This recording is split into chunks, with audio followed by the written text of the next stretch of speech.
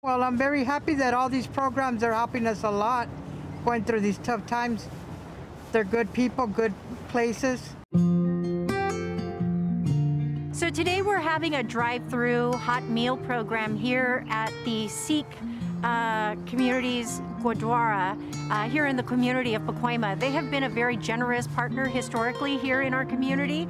And so when so many families are really struggling right now to make ends meet, when we have a situation like this pandemic, this is when the community rallies to come together to support those that are in most need. And so uh, this hot meal program is uh, really one of the only ones of its kind, and I think it's going to be of tremendous benefit to uh, folks in the community of Pacoima and the surrounding neighborhoods to get their families the much needed uh, nutritional support that they need. It's a vegetarian meal that's going to be provided free of charge, and we're actually doing a drive-through service where the meals will be packed based on the number of individuals that uh, are requesting meals.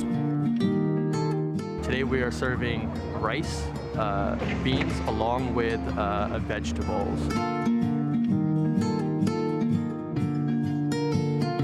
We're just maintaining good social distancing practice and make sure that we do everything possible to support people where they need the support without risking uh, anyone's health.